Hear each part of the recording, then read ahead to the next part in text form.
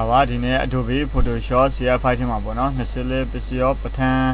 အဲစဝိုင်းလေးကိုဒီဇိုင်းရေးဆွဲပြမှာဖြစ်ပါတယ်အဲကျွန်တော်တို့ကဒီမှာနမူနာလေးလုပ်ထားတာရှိတယ်ပေါ့နော်ဒါကကြတော့ဟိုဟာ20လေးပစ္စည်းရောကိုအာ Adobe Photoshop CF5 ထဲမှာဆွဲတဲ့နေ့ဖြစ်တဲ့အတွက်ကျွန်တော်တို့ဒီသင်ခန်းစာကိုဟိုစားလုံးမယ်ဆိုရင်တော့ file file ထဲကနေပြန် new နဲ့စာရွက်တရွက်ခေါ်မှာဖြစ်ပါတယ် ဒါဆိုရင်တော့ဒီမှာဆီလက်မဆီလက်မပက်လေးပေါ့နော်ဆီလက်မပက်လေးအဲဆီလက်မပက်လေးကိုယူပါမယ်ယူပြီးတော့ okay နှိပ်ပါမယ်ပြီးရင် design လေးတစ်ခုဆွဲဖို့ဖြစ်တဲ့အတွက် rectangle tool လေးကိုယူပါတယ် rectangle tool လေးမှာဒီဒီဘက်မှာရှိနေတဲ့ option ၃ခုရှိတာပေါ့နော် shift layer ရယ် path layer ရယ်နောက်ပြီးတော့ဒီဘက်မှာဆိုရင် face pieces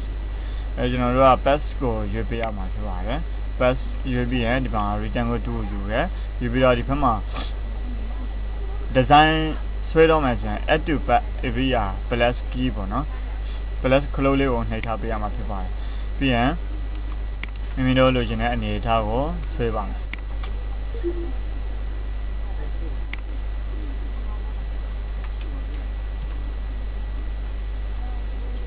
ဆွဲလိုက်တယ်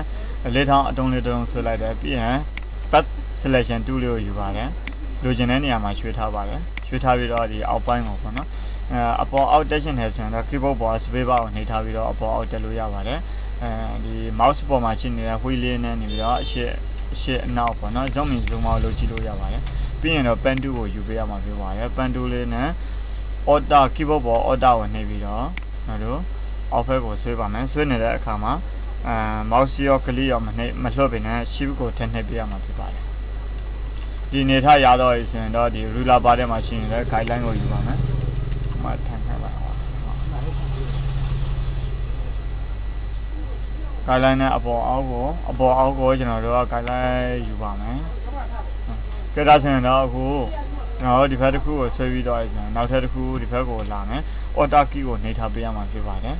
။နှိပ်ထားပြီးတော့ shift လေးကိုထည့်ဆွဲလိုက်ပါ။ဒါဆိုရင်ညီတူညီများတစ်ခုရသွားပြီပေါ့နော်။ ကဲနောက်ထပ်တစ်ခုကဒီအလီဆက်စင်တာပေါ့နော်အလီအလီစင်တာမှာကလေးတစ်ချက်နှိပ်ပါတယ်ကလေးတစ်ချက်နှိပ်ပြီးတော့သူ့ကို control နှိပ်ပြီးတော့ shift လေးကိုနှိပ်ပြီးတော့ဆွဲဖိဆွဲလိုက်ပါတယ်ဒီနေထားဆွဲပါမယ်ပြီးရင် order လေးနဲ့ကျွန်တော်ပြင် show ပါမယ်ပြင် show ပါမယ် ပြီးရင်ဒီ Excel လေးနေရာမှာ guideline နဲ့နေပြီးတော့ guideline တစ်ခုကိုထည့်ပါမယ်အကယ်၍ guideline မပေါ်နေဘူးဆိုရင် keyboard ပေါ် control R ကိုနှိပ်လို့ရပါတယ် control R ruler bar မပေါ်လို့ရှိရင်ပေါ့နော်ဒီဘက်မှာလည်း order လေးနဲ့ဒီလိုမျိုးဆွဲပြီးဆွဲလိုက်ပါမယ်ဒါဆိုရင်ဒီလိုမျိုးအအရှင်လေး design လေးတစ်ခုရသွားပြီပေါ့နော်ဒါရပြီဆိုရင်တော့ layer တစ်ခုယူပါမယ် layer ယူဖို့အတွက် create new layer ဆိုတဲ့ button ခလို့လေးကိုနှိပ်ပေးရမှာဖြစ်ပါတယ် ဒါဆိုရင် layer တစ်ခုရလာပြီဆိုတော့ control enter နဲ့နှိပ်လို့ရသလို right click ထောက်ပြီးတော့လည်း mid selection လုပ်လို့ရပါတယ် mid selection အဲ okay နှိပ်ပါတယ်နော် okay နှိပ်လိုက်ပြီဒါဆိုရင်တော့ဒီမှာ color ဖြစ်မှာဖြစ်တဲ့အတွက် gradient 2ကိုယူပါတယ်ကျွန်တော်ဒီ color ဒီဘက်မှာနမူနာလောက်ထားတဲ့အထက်မှာဆိုရင်အနီရောင်ရဲ့အဝါရောင်ရဲ့အဆင်းရောင်ရဲ့အဖြူရောင်ရဲ့ဆိုပြီးတော့ ရှိပါတယ်ဒါပေမဲ့ကျွန်တော်ဒီဒီဘက် design လေးမှာကြာတာဒီအဖြူရောင်ဆိုတဲ့နေရာမှာအဲဟိုဟာလေးပေါ့နော်ကြက်သွေးရောင်လေးထိချင်တယ်ပေါ့အဲ့ဒီမျိုးဆိုရင်ဘယ်လိုလုပ်အောင်လဲဆိုတော့ဒီဘက်ကိုလာမယ်ဒီ gradient ကိုတစ်ချက်နှိပ်လိုက်ပါတယ် gradient တစ်ချက်နှိပ်လိုက်ပြီးတော့ဒီအဖြူရောင်ဆိုတဲ့နေရာမှာကြက်သွေးရောင်ကို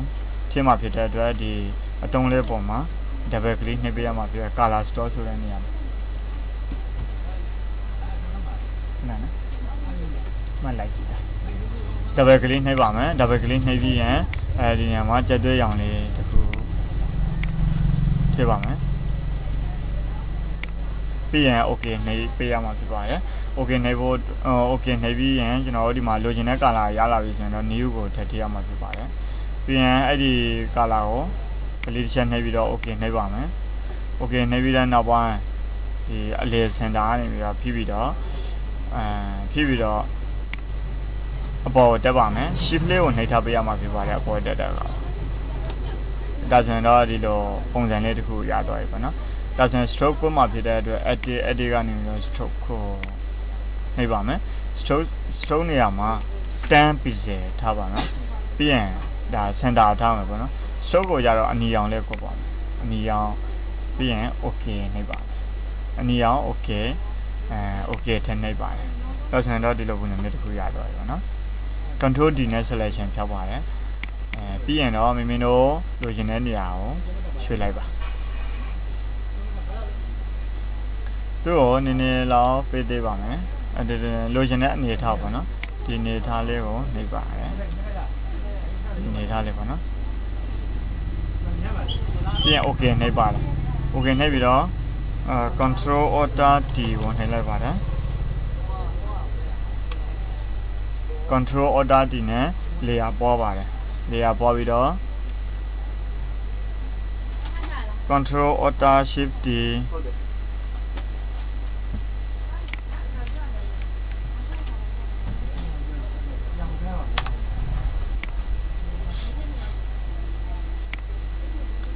ဒီနေရာမှာအခုကျွန်တော်တို့ control order shift ဒီနဲ့ layer ပေါ်လိုက်တယ် layer ပေါ်ပြီးတော့ရွှေ့တာပါနော် လိုချင်တဲ့အနေအထားကိုရွှေ့တယ်ရွှေ့ပြီးမှ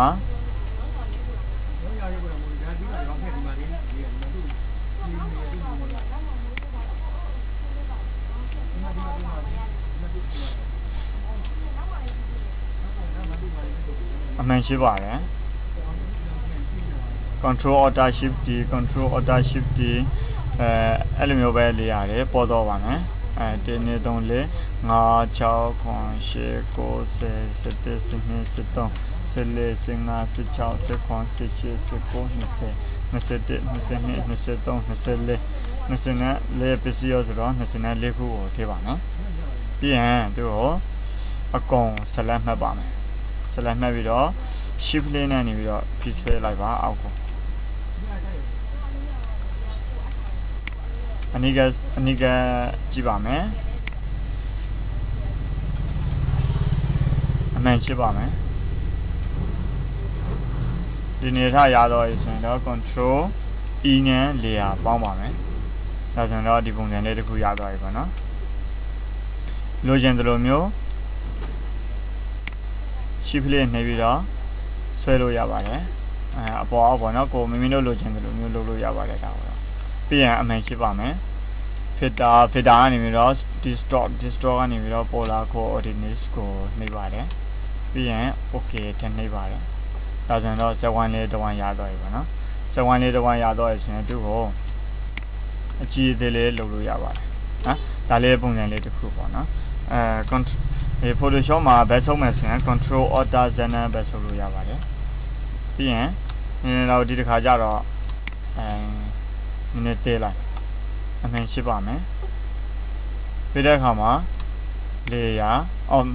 filter filter အနေနဲ့ distort distort အနေနဲ့ polar coordinates okay နေပါတယ်အဲဆိုရင်ဒီပုံစံမျိုးတစ်ခုရတော့ပြီပေါ့နော်ပြီးရင်အဲ့ဒီနေရာမှာကျွန်တော်တို့ကဒါ20လေးပစ္စည်းရောခွင်လေးတစ်ခုရတော့ပြီပေါ့နော်အဲဇဝိုင်းလေးတစ်ခုရတော့ပြီပေါ့နော်အဲအဲ့နေရာမှာစာတွေရိုက်ထည့်စာရိုက်ထည့်မယ်ဆိုတော့ဒီမှာရိုက်ပြီးသားစာတွေကိုလည်း ကိုယ့်အကိုစီပြီးတော့ထည့်လို့ရတယ်ပေါ့နော် hit to ပစ္စည်းရောတော့ iron ပစ္စည်းရောပိုင်းညာပေါ့အဲ့မှာကိုကိုတိုင်ရိုက်ချင်တယ်ဆိုရင်တော့ဒီနေရာမှာ keyboard ပေါ်က D ကိုနှိပ်လို့ရသလို horizontal type 2ကိုလည်းယူပြီးတော့စာရိုက်လို့ရပါတယ်အနည်းအောင်ပေးပါမယ်ဖုန်းကာလာကိုအနည်းအောင်ပေးပါမယ်အဲတူအဲတူပစ္စည်းရော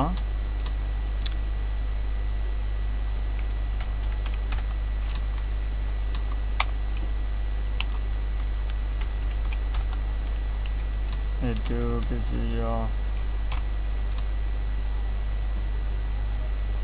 သူ့ကိုအကြီးသေးလုံးမှာဖြစ်တဲ့အတွက် select အဲ select ကနေ all select ပေးပါမယ်ပြီးရင်ဒီနေရာမှာ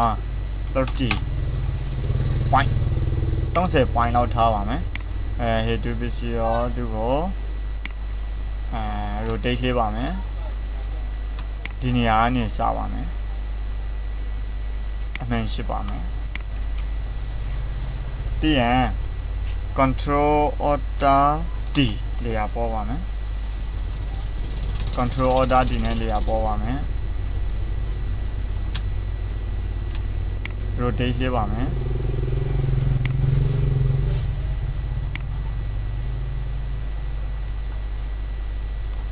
အမှန်ရှိပါမယ် control order shift d အခုတစ်ခါယူ control order shift d control order shift d ဒီတိုင်းပဲနေတော့ပေးရမှာဖြစ်ပါတယ်နေလေး6ခွန်ရှိ9 10 11 12 13 14 15 16 19 18 19 20 21 22 23 24အဲဒီလိုမျိုးရတော့အချင်းလိုက်ရှင်ပေးရမှာဖြစ်ပါတယ်သူပစ္စည်းရောဒါလေးတွေရောမျက်လုံးလေးလောဆင်မိတ်ထားပါမယ်မိတ်ထားပြီးတော့ဒီကနေစပါမယ်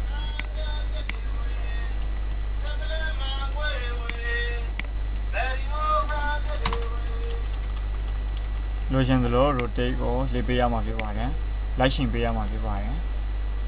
အမှန်ရှိပါမယ်ဒီနေ့အတိုင်းပဲကျွန်တော်တို့နောက် A2 ပစ္စည်းရောနေပြီးတော့နောက်ထပ်အဲဒီမှာကျွန်တော်နမူနာလောက်ထားပေးတဲ့အတိုင်းပဲအာရမနာပစ္စည်းရော activity ပစ္စည်းရောနင်ဒရာပစ္စည်းရောသမနင်ဒရာပစ္စည်းရောသာဇာတာပစ္စည်းရောညောင်မြပစ္စည်းရောနေတရားပစ္စည်းရောဆိုပြီးတော့အစဉ်လိုက်အဲစာသားလေးတွေကိုဟိုရေးထည့်ပေးသွားမှာဖြစ်ပါတယ် ပြန်လိုချင်တယ်လို့မျိုးအလေစင်တာလေးတွေကိုလိုက်ညှိပေးရမှာဖြစ်ပါတယ်